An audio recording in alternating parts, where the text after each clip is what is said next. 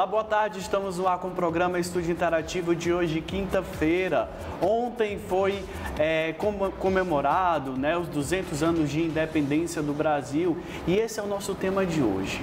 Para você falar conosco, nós estamos ao vivo esperando a sua mensagem. O nosso WhatsApp é 33 26 2300. A Luciane está lá esperando a sua mensagem. Você pode mandar mensagem, perguntar, fazer sua pergunta aqui para o nosso entrevistado, que eu vou apresentar agora. Ele é o nosso professor, nosso querido historiador, doutor, é, mestre, professor Fonseca Neto. Boa tarde, professor. Seja bem-vindo mais uma vez ao programa Estúdio Interativo. Boa tarde, uma satisfação conversar com você, conversar com esse universo maior de piauienses. Tá? Uma satisfação. Vamos lá. Jade, boa tarde.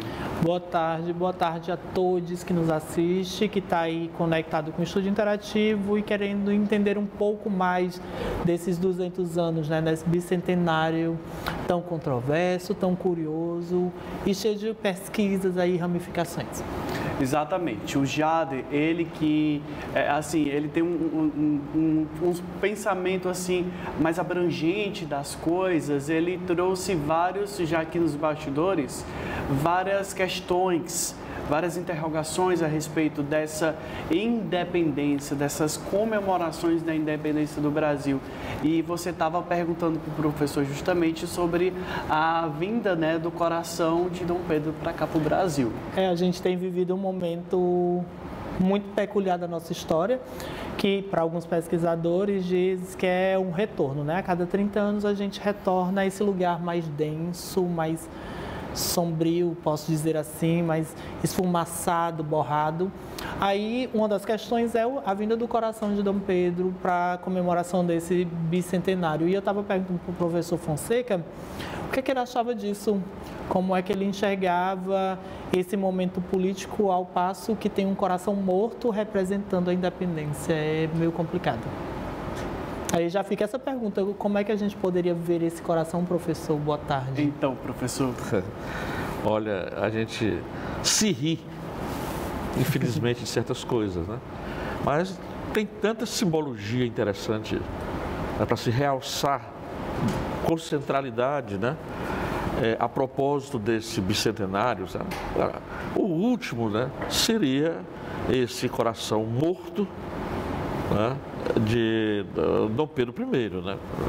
Acho uma coisa muito escabrosa é, essa, digamos assim, essa insensação é, desse coração tomado ontem, por exemplo, em alguns lugares, em Brasília sobretudo, né, com, sacralizando esse, é, esse coração. Né? E, sobretudo, é, esse centenário, essa lembrança, ela só tem que servir, só precisaria servir para alguma coisa, com uma, uma, uma orientação, uma orientação de nós sobre nós mesmos, sobre a nossa história, sobre o caminho do Brasil, né? E esse coração não é o melhor guia, até porque o coração, quando é vivo, é uma, uma bomba que espalha vida, faz a vida circular, renova a vida. Né? É, o coração é uma coisa muito, muito importante, né? É ele, por exemplo, que ativa o cérebro, ajuda a irrigar o cérebro. Né? No Brasil, que já é tão macabro, né? Nesse momento é governado por um signo de morte, de bala, de matar. O símbolo dos comícios é a arminha ou a harmona para matar, até, até nos púlpitos de algumas igrejas cristãs. O convite é mate-se, mate-se, pena de morte. Né? Isso é aquilo, morte. Então traz um coração morto. Né? É isso os historiadores, os estudiosos todos vão reconhecer que se levou é tão grave isso, se leva a simbologia que deveria ser da vida, de renovar, de construir uma independência que está aí em aberto, né? e você traz esse coração morto, sinal de que a vida acabou, né? de que a vida acabou, é, o sinal de uma conservação, aliás, ele está artificialmente conservado no formol para, digamos assim, para, para encantar o Brasil. Porque a celebração é encantamento, né? Sim. É encantamento. E com esse coração, achei, né? Se a cidade de Porto, em Portugal, né? Dentro, ajustado, da, dentro da história portuguesa, uma história milenar, né? História, inclusive, de reis milenares. Cada um, né? não é só o Porto que tem o coração de Dom Pedro IV, né? Mas outras cidades têm, têm o coração de outros reis. Então, esse é um costume dele, da história dele. Agora, trazer isso aqui, uma, uma colagem né, para esse rei temporário do Brasil, né, que veio como símbolo de permanência, veio como símbolo de não independência. Né, tá? a, a permanência da monarquia foi uma exigência do Congresso de Viena de 1815 justamente para não acontecer uma independência como acontecera no norte deste lado do Atlântico. Né? Então, aqui, já que aquele pedaço se despregou da colônia, da, da, da metrópole inglesa, né? este pedaço do sul imenso, já sabidamente um dos pedaços mais bonitos da Terra, né? mais cheio de biodiversidade, de vida, de grandeza, mineral, de todos os sentidos, né? entendeu? Já é um lugar muito próspero, uma das nações maiores do mundo, das territorialidades ricas, já era assim em 1816. Qual foi o propósito da Europa naquele momento? Sabe? É, recompondo, levantando os tronos derrubados pelo Napoleão Bonaparte, pela Revolução Francesa. Qual foi, a, a, qual era o signo que a Europa colocava geopoliticamente? Sabe? Nós não podemos deixar que fique independente, né? um pedaço grande, né? o florão da América do Sul. Não podemos. E isso foi o que orientou a independência. Agora você traz o símbolo desta permanência e não de uma independência. O maior prova disso é que ele é rei daqui e é rei de lá. É o primeiro daqui e o quarto de lá. Então, isso é um símbolo não de independência. Isso é um símbolo, né? isso é um, um sinal, é a prova histórica mais eloquente de uma permanência. Agora, o desejo de tornar independente, isso é fato. Né? É um fato pretérito, anterior ao 1822, a vontade de ficar independente. O Piauí passou, por exemplo, o Piauí, esse pedaço do território da América Portuguesa, passou 100 anos em guerra. Em 1718, os tapuias em 1718, 104 anos antes. Tá? do 1822, os tapuias piauias se confederaram e se levantaram vaqueiros, poceiros, rendeiros, sem terra, né? índios, sob o comando do Manduladino, se levantou numa guerra que não parou mais até 1822. Aqueles 200 que morreram do Genipapo é desse povo. É interessante como isso quase não se fala. Tudo morrendo. O próprio Maduradino foi assassinado. O, é, é, o maior herói do povo comum. Quer dizer, isso pouco se fala. Foi não justamente o que a governadora Regina Souza, do, do PT, falou ontem. É, na, no desfile de 7 de setembro, para a nossa reportagem, ela falou isso. O derramamento de sangue aconteceu na independência. E antes nesse dela, período foi justamente aqui no Piauí, lá em Campo Maior. E vem de longe. Dizer, é, é, o convite da gente é não pensar isso como um acontecimento em si. É o que se pensa a, a, a independência do Brasil como um acontecimento em si, é não. Dali é um desaguadouro de, de muita luta. É porque quiseram né, os chamados vencedores, né, que impõem a sua ordem, a sua visão de mundo, né, precisavam reforçar um argumento, um argumento terrível, né, que tanto é, depõe, né, que é o que fundamenta o, o viralatismo de, de, boa parte dos brasileiros, né? Sim. É, é, sobretudo a camada dos doutores, a camada dos, dos chamados entendidos, né? Sim. De uma elite que se diz pensante, mas é nela que está a maioria, por exemplo, né? de pensar que o Brasil tem dificuldades, é subdesenvolvido, é analfabeto, é, é como um defeito do seu próprio povo alguém é pobre, né? a sociedade é miserabilizada, isso é culpa do próprio povo. É porque é culpa do Brasil. Inventou aquela coisa de né? o brasileiro nunca lutou por seu. Ah, esse, já escutei isso demais. O brasileiro é um povo que nunca derramou sangue por seu. Que é isso? Isso é uma mentira deslavada poucos países, dos pedaços que o mundo se organiza, poucos, o seu povo derramou tanto sangue, tanta lágrima, tanta lágrima, para querer viver num estado de liberdade.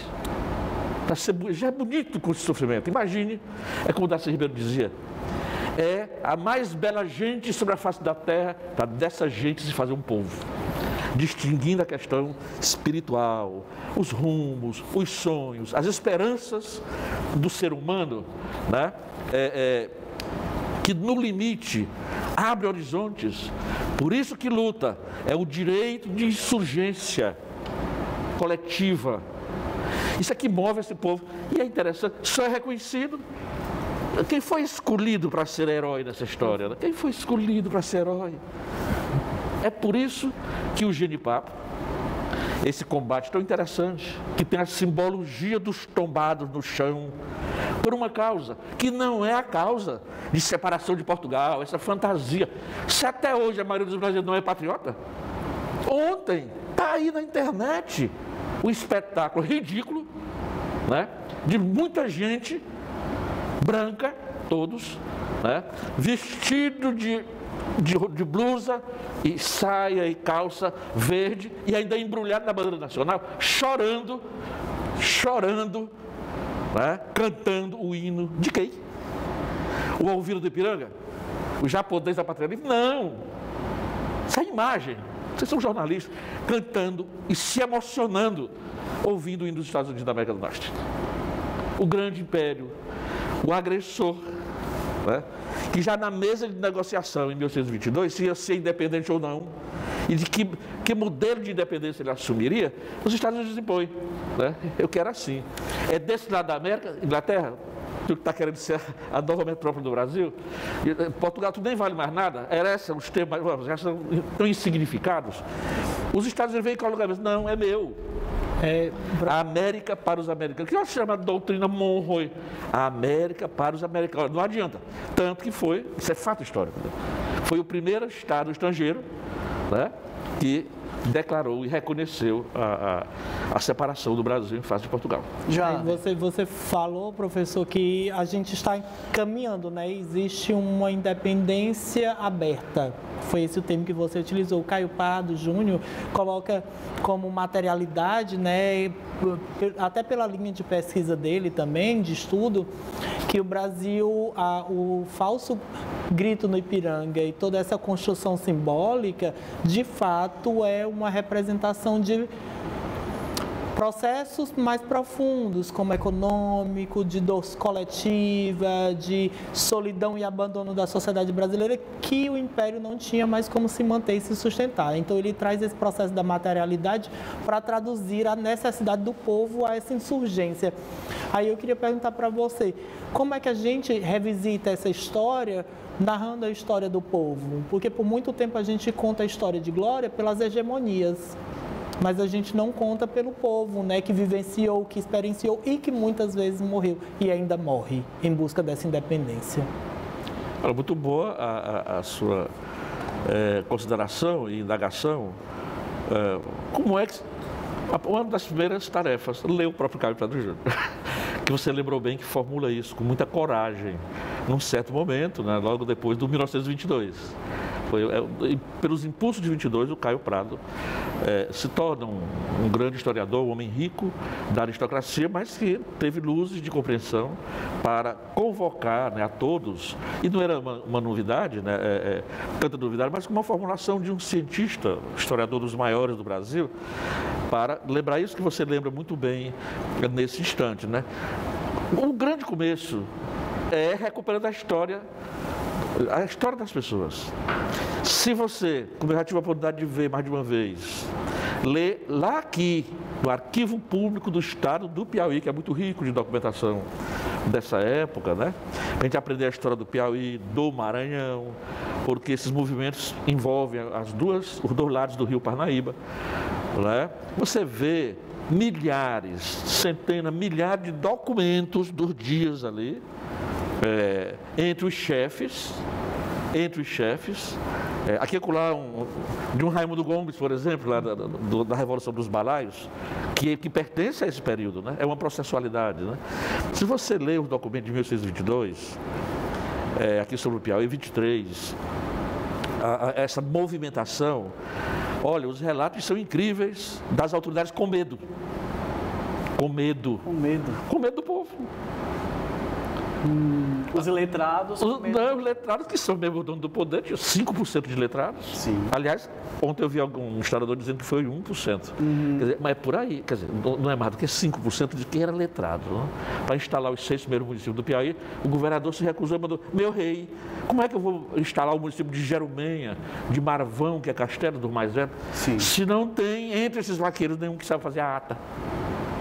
Porque nós, o governador passou, foi instalar, levou um desembargador de Portugal e mais na, na, na comitiva, né?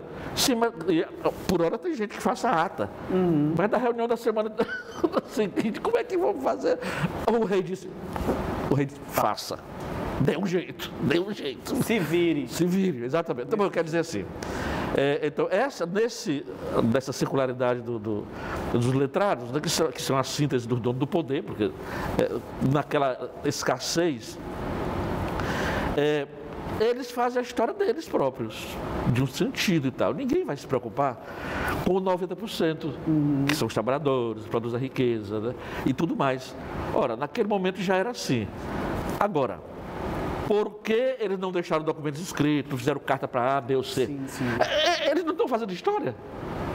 Pegando no eito, na roça, no chicote, né? as tranqueiras, que são os currais. Quer dizer, não estão fazendo história? É claro que estão. E é a história que conduz o mundo que é a história que vai, que vai botando para frente. Então, o medo das elites, as elites piauienses, como as elites do Brasil, então os documentos estão aí, é porque não querem. É claro que isso é um projeto. História é uma seletividade de qual a narrativa que vai prevalecer, ajustada ao discurso, ao querer, aos projetos dos donos do poder de cada momento. Né? História é isso, é escolha, é tensão, para se buscar o núcleo verdadeiro né, do que está se dando. Nós estamos vendo essa entrevista hoje aqui, aliás, é gravado, né? Mas mesmo assim, daqui a pouco, terá passado esse momento, sabe? É, é, ele, alguém, pode dizer, não, não houve. Não houve. As irmãs, não, isso foi inventado. Não. não é, mas o que está acontecendo aqui é verdade ou não é verdade? É verdade. É verdade. Isso, quer dizer, fato nenhum posterior, né, desmanchará, diluirá isso aqui, para isso aqui deixar de ter existido. Então, a verdade em história é a busca da iluminação desse momento, na hora que ele, né, que ele só for clareza na memória de muitos, que aí fica difuso. Cada um tem a sua memória, né? Cada modelo, cada tipo de registro tem, né? Esse televisado por aqui, alguém vai dizer, não, isso foi montado.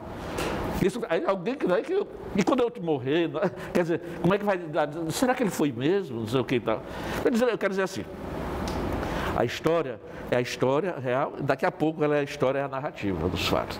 É, é nesse processo que se reinventa os fatos favoravelmente ao que estão no poder e ao que os que estão no poder, naquele momento, em geral, num processo de dominação restrito, né, que exclui o povo, exclui as maiorias, é que vai prevalecer. Só arrematando, né? O, o, o... Então, essa história dos excluídos da história, tá?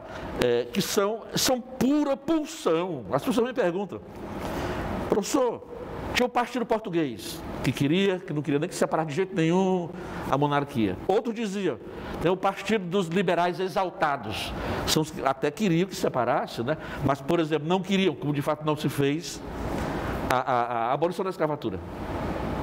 Tá? É, uma liberdade de, de comunicação, uma liberdade de andar. Em Oeiras, em 1822, para alguém sair de Oeiras, qualquer pessoa, sair de Oeiras para ir em Parnaíba, para ir em Parnaguá, precisava de um passaporte. O arquivo está cheio de, dos passaportes. Ficava, ficava uma cópia na delegacia.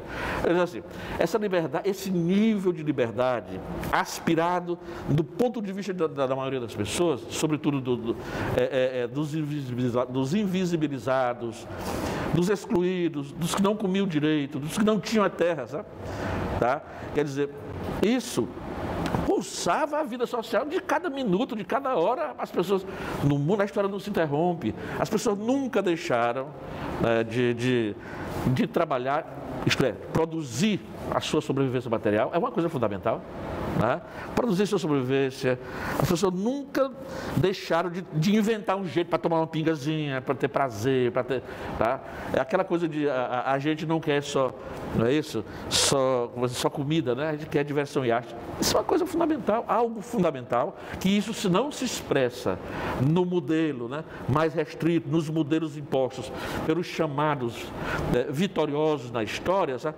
mas do ponto de vista, isso nunca deixa de se realizar de uma maneira ou de outra. Aí vem a questão dos afro, essa tradição afro, um componente fundamental. Que essa que... questão vai, vai, vai ficar para o próximo Ok, exato, que ela, tem, que ela tem muito significado e move a nossa história. Como é que se esconde isso? É, a gente vai ter que ir para um rápido intervalo, daqui a pouco a gente volta com mais estúdio interativo. Fica ligadinho aí.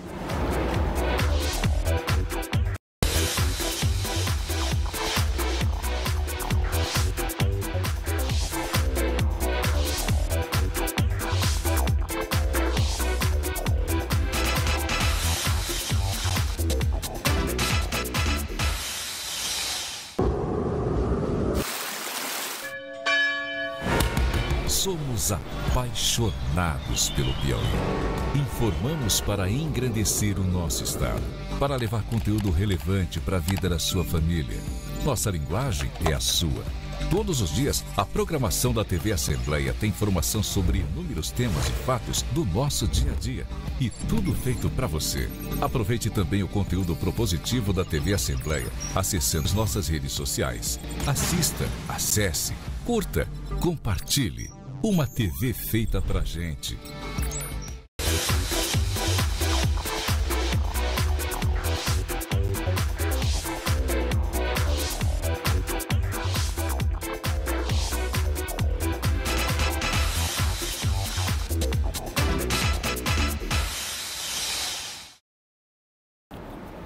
Estamos de volta com o programa Estúdio Interativo, hoje falando sobre os 200 anos de independência do nosso país, principalmente no nosso pedaço aqui, claro, falando sobre a independência, a participação da, do Piauí na independência do Brasil.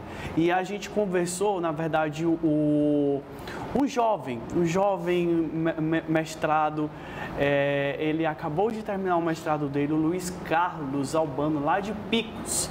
Ele pesquisa sobre o período da independência há sete anos. Ele acabou de terminar o mestrado sobre três figuras piauienses que, para ele, foram especiais neste período. Ele fez uma análise de Simplício Dias da Silva, João Cândido de Deus da Silva e Leonardo da Senhora das Dores Castelo Branco. Vamos conferir o que ele disse. Eu analisei exatamente esses três projetos principais representados por esses três sujeitos o Simplício Dias da Silva representando o trânsito comercial ali em torno da Vila da Parnaíba, né, que conseguiu conectar o Piauí tanto as províncias vizinhas em torno do comércio de gado, como também em direção a Lisboa, com o trânsito direto dos seus navios, é, inserindo aí também no, no, no, comércio de escravos relacionados ao plantio de algodão, enfim, e tudo que daí decorre. É, e ele vai representar exatamente esse desejo né, de garantir esses privilégios é, diante das instabilidades políticas que vão ser percebidas aqui no Piauí também a partir de 1821.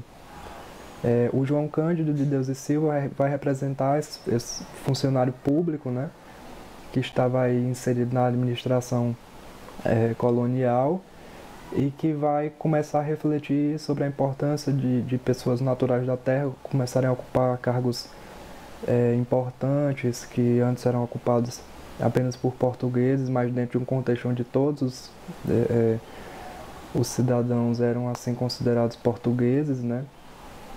É, e daí vai começar exatamente esse processo de construção do outro em torno de um elemento negativo voltado para o português é, já que vai desembocar aí exatamente no movimento separatista. Porque esses movimentos de independência a priori, eles não vão ser é, direcionados a esse sentimento de, de separação com Portugal. Né? Os próprios independentes da Parnaíba afirmam isso ao proclamar a independência, mas conclamando a união do Brasil com Portugal. É, então ele vai representar esse projeto também é, de pensar o elemento é, local diante de, dessas, dessas configurações políticas. E o Leonardo da Senhora das Dores Castelo Branco, que é esse grande intelectual, né, esse sujeito ilustrado, que vai construir esse discurso de independência é, em torno de um amor entre irmãos piauienses, né, e todo esse discurso que ele constrói na, na sua proclamação que foi distribuída é, no Piauí e no Maranhão, e por isso ele foi preso e enviado para Lisboa.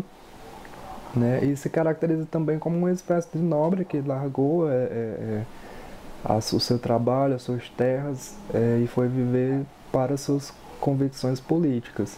De forma geral, esses sujeitos serviram exatamente para demonstrar a multiplicidade de projetos envolvidos nas independências, né, é, é, para nos mostrar que não existiu um, um processo único, é, muito menos em torno do projeto oficial que foi construído a partir do Rio de Janeiro, é, e demonstrar também como o Piauí estava inserido nesse trânsito de, de sujeitos, de ideias, de mercadorias a nível local, a nível regional, né, com as províncias de Maranhão, Pernambuco, Ceará, Pará, é, e também a nível atlântico, trocando é, é, essas experiências também com Lisboa, né, com outras possibilidades. Ah, dobrei a perna aqui, gente, que o meu papo tá bom. E falando em papo, claro que não poderia faltar o papo maroto do nosso Jader. Jader, conta pra gente como é que conta. Primeiro chama o papo, depois você comenta. Pronto. O papo maroto de hoje aí já é um convite pro professor também imaginar e pensar com a gente esses pensadores do Brasil contemporâneo, né? Porque a gente sabe que as histórias, como até você já disse também, elas são narradas a história do seu tempo, a perspectiva do seu tempo. E hoje a gente tem muita gente pesquisando outros contextos, outras histórias, outras realidades, orientações, raças, etnias. Então, o papo de hoje a gente conversa com João Marcel Guerra, que ele é mestrando em Cultura e é, Sociedade pela UESP, e ele fala um pouquinho sobre como é que essa perspectiva do interior, desses povos que foram marginalizados e isolados do Piauí, também fizeram parte. E o quanto é importante a gente contar essas narrativas, não só sobre a independência, mas sobre outros fatos, outros fatos e tempos do nosso Piauí. Então, vamos conferir o Papo Maroto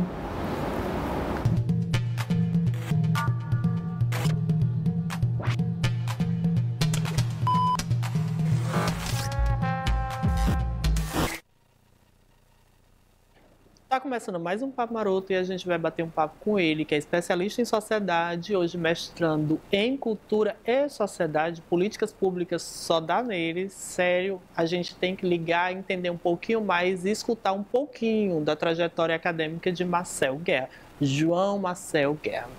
Tudo bom, João? Tudo bem, Jada. João ele inicia no direito, passa para os estudos de sociedade, hoje transita em cultura. E para bater esse papo que a gente está falando sobre independência, né? Se é que a gente pode falar que estamos independentes, eu já começo com essa pergunta. Das suas pesquisas, da, da graduação ao mestrado, onde é que a gente toca ou a gente cruza é, as suas pesquisas de cultura e de sociedade com esse tema, né? 1822, independência bicentenário. Fica bem, bem claro que nós não temos uma independência. O que a gente teve foi um, um evento que possibilitou que classes já historicamente privilegiadas pudessem administrar seus privilégios. E classes historicamente pertencentes a grupos dominados é, mantivessem a estrutura, que essa estrutura é estruturada e estruturante para manter essa classe privilegiada. A, gente... a gente tem uma grande gestão de privilégios. Então, a, a, gente tem visto uma releitura da história, né? Tem se pensado a história por uma ótica mais social, onde a gente tem visto um protagonismo principalmente da, das, das iniciativas sociais, negros, indígenas, quilombolas, é, trabalhadores do campo. No Piauí, tua pesquisa é bem voltada para o Piauí, para os territórios mais marginais do estado, né? Essa população, ela participou de que forma nessa independência? É, e, e hoje em dia a gente poderia reivindicar esse local de fala deles também? Essa revisão é extremamente necessária. É, eu gosto sempre de dar o exemplo nós temos idade parecida, provavelmente você pegou essa mesma grade curricular que eu. É, se você imagina a Batalha do Genipapo, a gente é na escola eles ensinam que o que era a Batalha do Genipapo, que as pessoas, grupos de poceiros, sitiantes, roceiros, pessoas pobres foram contra armadas com paus e pedras foram lutar contra o Fidier, que estava armado com canhões. E essas pessoas eram heróicas, movidas por um sentimento nacionalista de que vamos conquistar, vamos fazer a independência. E é muito ingênuo você imaginar que essas pessoas estavam apenas tomadas pelo sentimento de nacionalismo, de queremos ser brasileiros, vamos lutar para tornar o Piauí independente. Isso não existe. As pessoas, elas queriam o quê? Elas queriam as, necessidades que elas tinham naquela época são muito próximas das que elas têm hoje. É comida no prato, condições satisfatórias de vida. É muito ingênuo você imaginar que essa população pobre, sem acesso à educação, sem, sem acesso a uma educação libertadora, que até hoje não temos, é, se imaginar que essas pessoas estavam lutando porque elas queriam ser brasileiras. O que seria ser brasileiro para um homem do campo, né? Se a gente até hoje discute território como uma necessidade básica, mas ainda assim tão distante da grande maioria da população.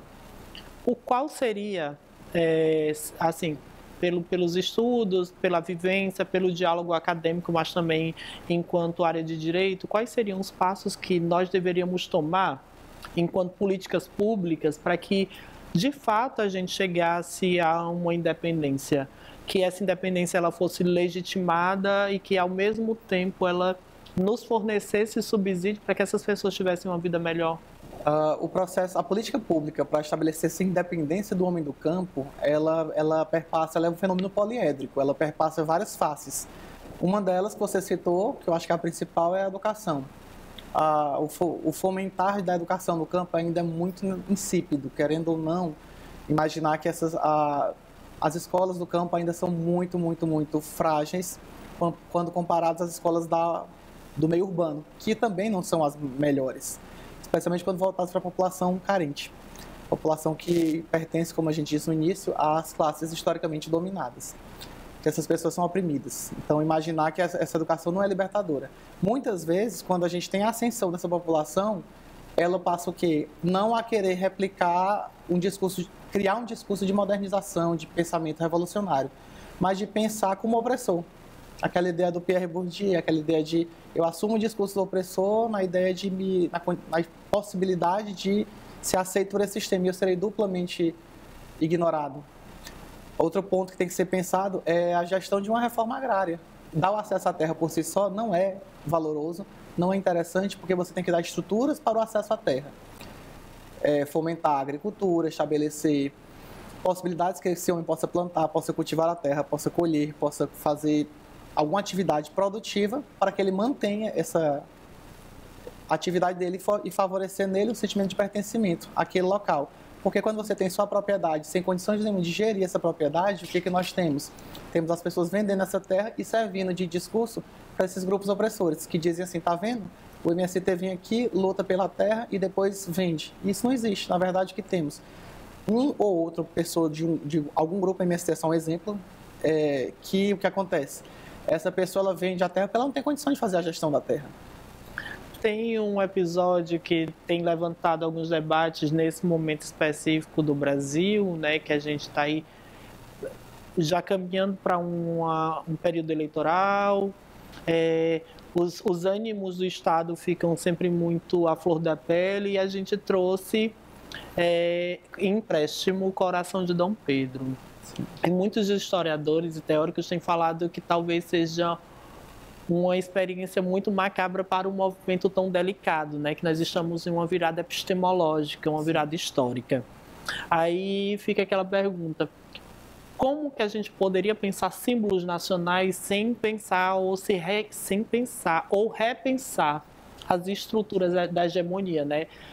Tirando também um pouco dos quadros dos homens brancos da parede, colocando quadros de quilombolas, de indígenas, de mulheres. De é, populações vulneráveis. Populações vulneráveis. É muito interessante você pensar isso, Jade, porque o que a gente tem, trazer o coração de um imperador, que a gente sabe que a revolução, que ele não conduziu uma revolução, a gente sabe que o que ele conduziu foi uma passagem de poder, uma coisa quase, quase não, hereditária mesmo.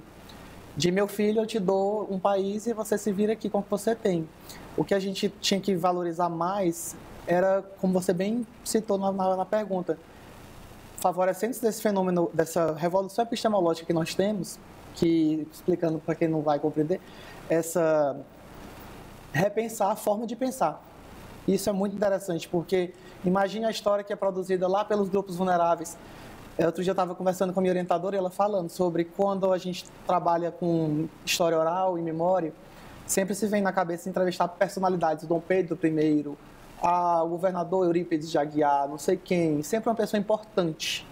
Por que não pegar a benzedeira lá do seu interior? Por que não pegar a quebradeira de coco? Por que não pegar o vaqueiro? Essas pessoas também produzem conhecimentos, essas pessoas produzem saberes. E essas pessoas são ignoradas.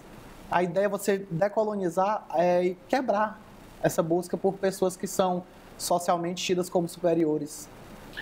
Para quem não sabe, o, o, nome disso, quando umas histórias elas são apagadas ou silenciadas, é epistemicídio, que é o assassinato de histórias, é, de narrativas. Então, o que o Marcel está propondo é que a gente comece a pensar essa, essa independência do Brasil, 1822, por um olhar decolonial, que é pensar a partir das nossas experiências no hemisfério sul, sem, sem tantas interferências de outros pensadores como pensar essa história a partir da gente, para a gente, pelo nosso povo. Aí vem aquela pergunta que não quer calar. A gente pode indicar quem? Quais pesquisadores, quais caminhos, é, quais objetos, quais instituições pesquisar? Você teria algumas dicas para todo mundo que está em casa? Sim, acho que o primeiro ponto que tem que ser analisado é que você não deve procurar o autor fulano de tal. Isso aí é fonte secundária. Acho que bem mais interessante é você questionar o seu, o seu, o que tem ao seu redor. É você questionar o, por exemplo, eu vim de um lugar que existia muito vaqueiro, muito pistoleiro, muito rezadeira, benzedeira, que eu venho de Curimatá, interior do Piauí. Então imaginar é, que essas pessoas têm histórias e valorizar a história delas e às vezes você entender que às vezes aquela pessoa entrou em caminhos de legalidade, de ilegalidade, caminhos que são socialmente aceitos, socialmente bem vistos, socialmente mal vistos. É muito interessante você analisar isso. A pesquisa pelo autor europeu branco, que as academias estão cheias, isso fica para um segundo plano. Tem uma brincadeira que eu costumo fazer e às vezes rola e às vezes não, que é tem alguma pergunta que eu deveria ter feito para você, que você adoraria falar sobre esse tema, mas eu não fiz e que você gostaria de tocar? Não, acho que não. Acho que você foi me atravessou bastante. pois então, aproveitando essa dica, essa deixa, a gente deixa alguns livros, né? 1822, que é um livro maravilhoso. Tem alguns documentários que estão reescrevendo a nossa história, por exemplo, Esperança Garcia e que a independência do país não aconteceu só à margem do Rio Ipiranga como um quadro que é pintado, né, que é uma liberdade poética, mas também no interior e no sertão de dentro do Piauí. É interessante a gente conhecer outras histórias. Queria te agradecer. Obrigado. O papo é sempre muito curtinho, poderia ser mais extenso e ele não precisa encerrar aqui. Você que está em casa pode entrar em contato com o Marcelo nas redes sociais que apareceu durante todo o Papo Maroto ou nas minhas redes sociais e também na do estúdio. E eu queria que tu deixasse um recado para quem está em casa sobre o tema, sobre leitura, sobre dica.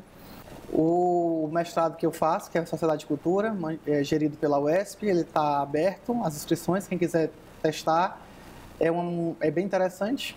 E o programa de pós-graduação em Sociedade de Cultura está com inscrições abertas. Se você quiser conhecer um pouco mais a sua história de si, da sociedade que você está incluído, que às vezes nem você está percebendo que está incluído nela e como esses temas informam quem tu é, é tá aí uma oportunidade de você pesquisar, aberto aí, espero que se interessem. Então fica aí essa dica do Marcel, faça parte do, do mestrado de Cultura e Sociedade da UESP, também abriu o edital de comunicação da UFP, seja aluno especial, e a gente está sempre disposto a trocar uma ideia, porque o papo é sempre maroto. E é com essa dica que a gente volta para o estúdio.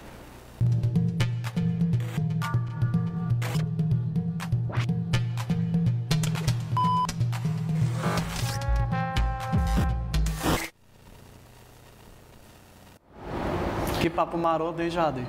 Mais uma vez, muito obrigada, João Marcel. É sempre muito bom rever e pensar pela perspectiva da sua pesquisa, né? Dessas marginalidades do Piauí, como ela que também constrói a nossa história. Aproveitando, antes de sair para o intervalo, que o André vai já chamar, eu queria já fazer um questionamento, né, para o professor como é que a gente ainda não pensa, não revisita e não comemora, não celebra o grito dos excluídos em 7 de setembro? Sendo que a gente tem grupos de com outras narrativas, né, que contam a nossa história, que reivindicam outras experiências de existir, como quilombolas, indígenas, professores, é, que mais pequenos agricultores, é, pessoas sem teto, né, em situação de rua. Domésticas. Domésticas. Como é que a gente, a gente ainda não aprendeu a lidar com o grito dos excluídos e a compreender a necessidade dessa existência, desse momento tão importante da, da nossa independência? O comentário do professor Fonseca Neto vai ser no último bloco, viu, gente? A gente vai para o intervalo, daqui a pouco a gente volta com mais estúdio interativo.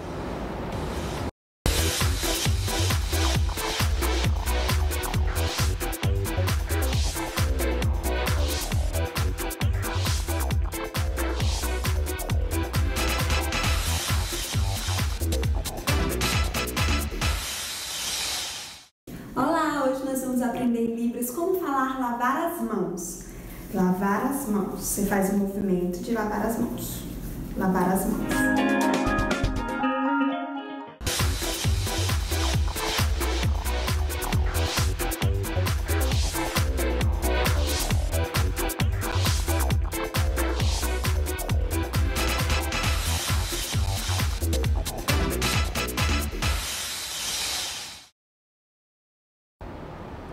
Estamos de volta com o programa Estúdio Interativo falando justamente dos 200 anos da independência do Brasil.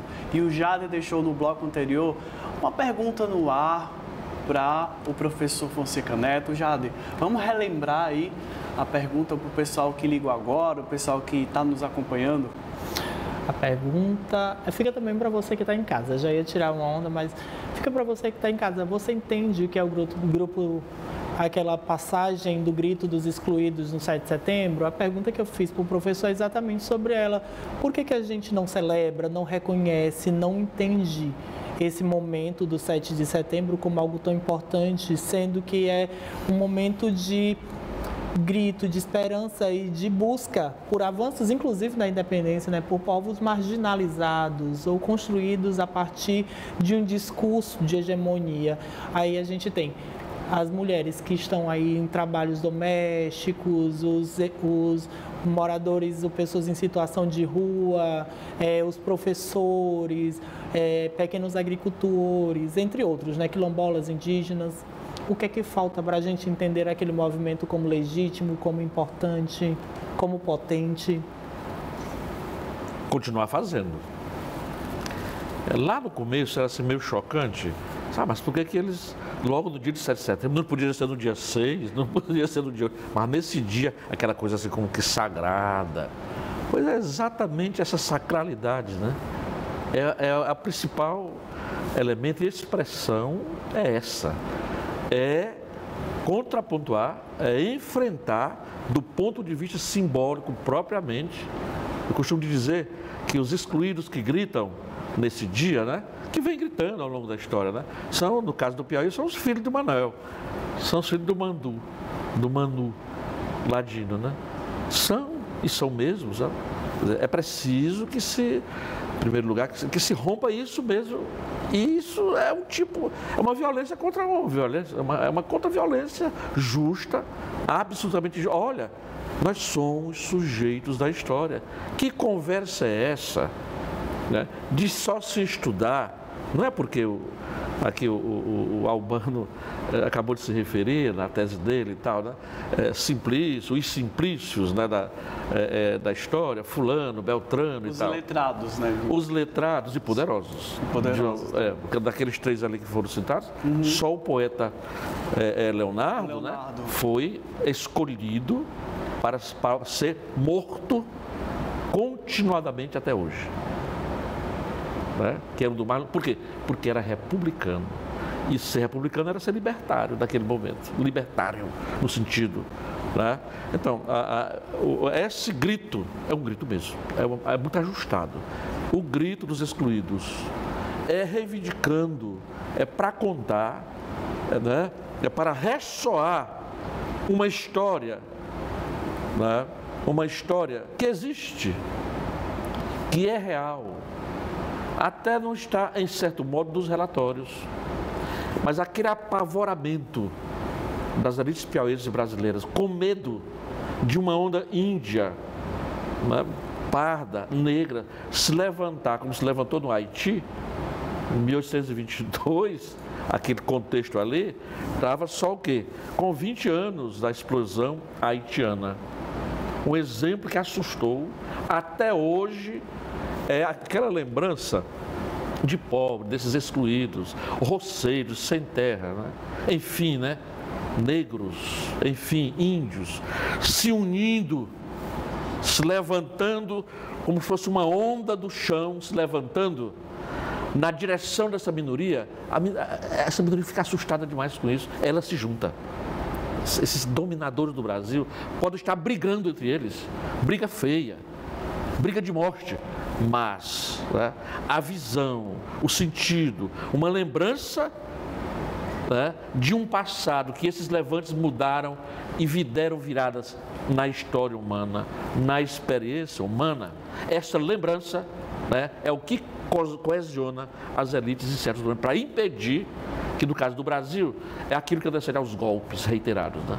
Na hora que essa visão ela se adensa, essa visão que ela se adensa, que tem é esses excluídos querendo chegar perto do botim, né, da parte mais gostosa do bolo, né, tá? aí se unem com todas as armas, sobretudo a arma da história, né, da, das memórias, da história, coloca tudo né, a serviço de conservar, de frear, no limite, romper com as instituições que foram criadas para apacentar, né, rompe, dá-se um golpe. E isso está na véspera dessa independência.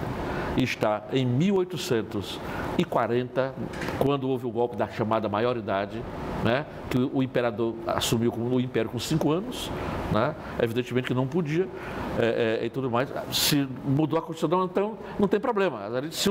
Então, nós precisamos desse menino com, com essa faixa de imperador. Né? Exatamente. O que, é que se faz? Né? O que, é que se faz naquele momento ali? Então, a Constituição de 1824 dizia só com 18 anos. Né? Ele pode assumir de fato. O que, é que ele faz? Não. Pois isso não é problema. A gente se reúne, muda a Constituição e diz que ele com 14 anos tem 18. E assim foi feito. E assim foi feito. Da mesma maneira na República, da mesma maneira em 1930, da mesma maneira em 45, com os decretos dando direito a trabalhadores do, do Getúlio Vargas. Da mesma maneira em 1964, né? da mesma maneira agora com o golpe de 2016. Quer dizer, o povo vai tomando gosto de que ele, de que ele se descobrindo né, como, ela é, como sujeito da história, que nunca deixaram de ser. Quer dizer, esse processo de retirada do povo que muda a história.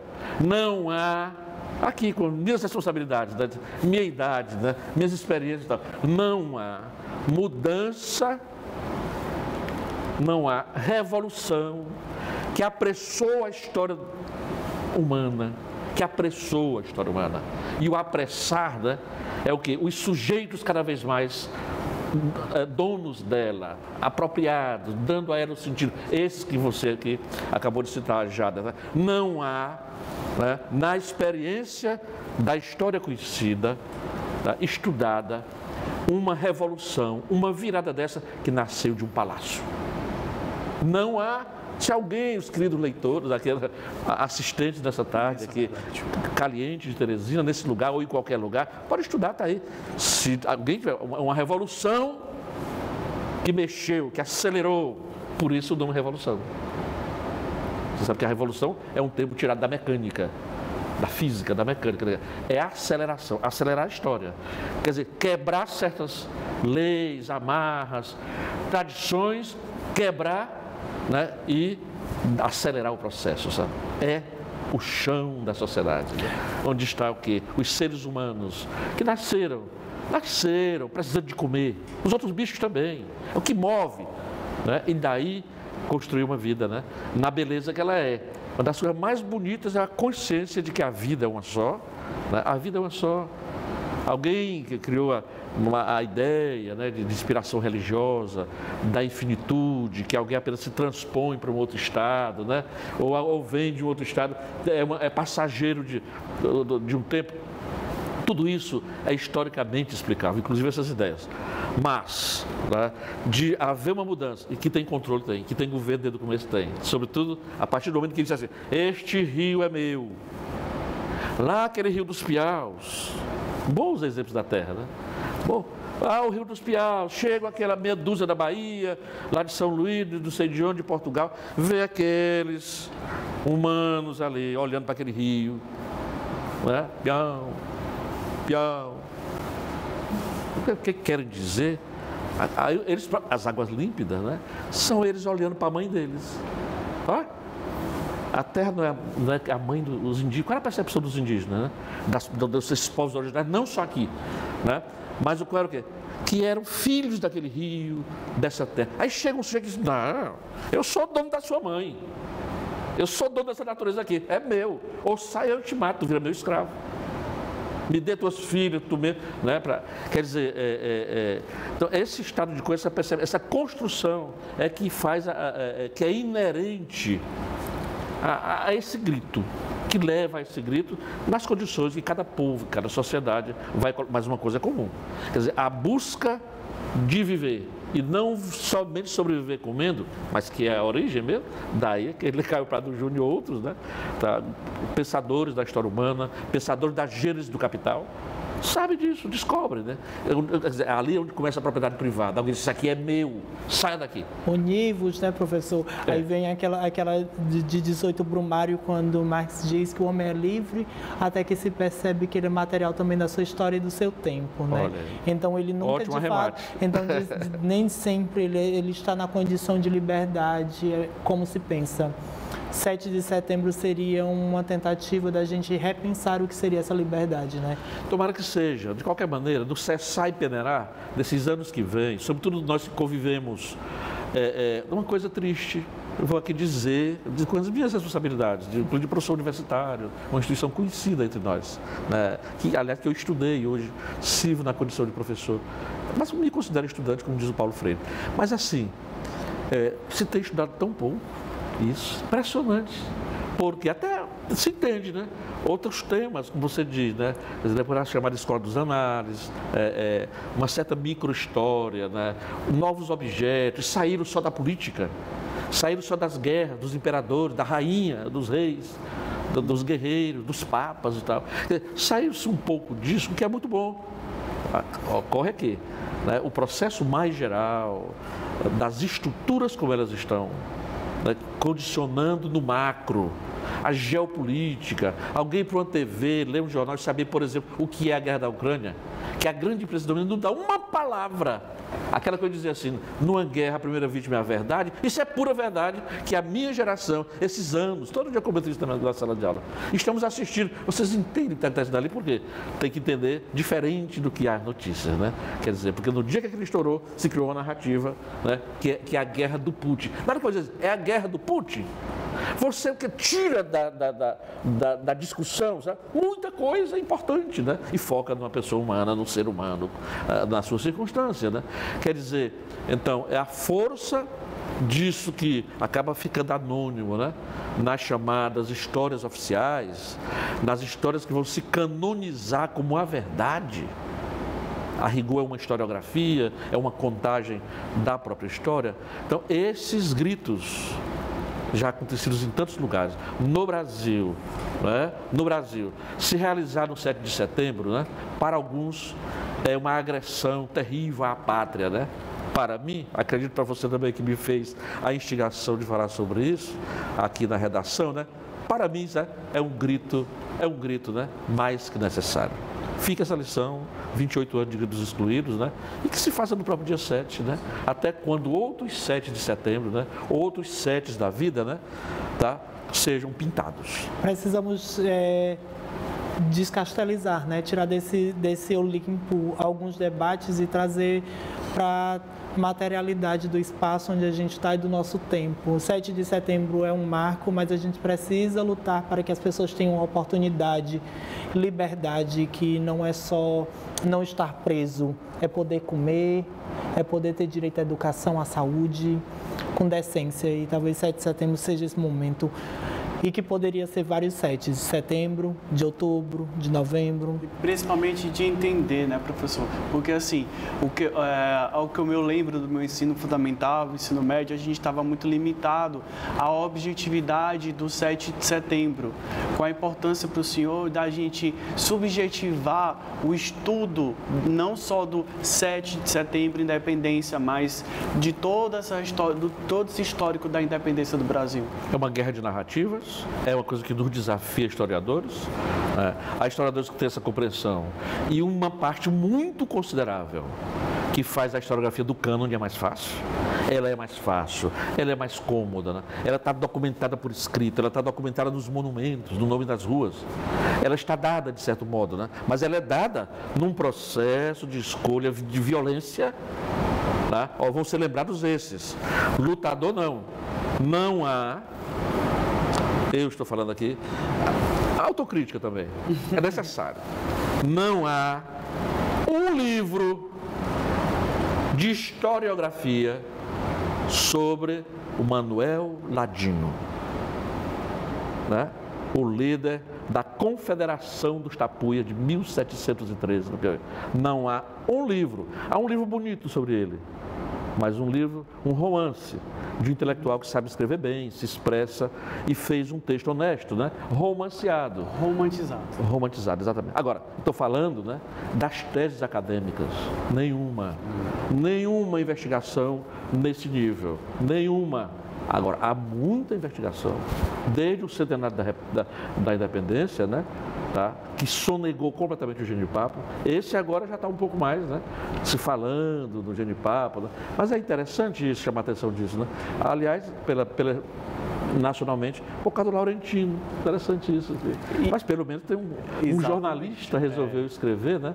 quer dizer, com a capacidade isso. de escrever um texto palatável, bonito e tal, né? escreveu o 1808 já vendeu um milhão de exemplares e o 1822, 700 mil, conforme o próprio Laurentino tem medido, mais ou menos assim. Quer dizer, é, mas essa é uma construção.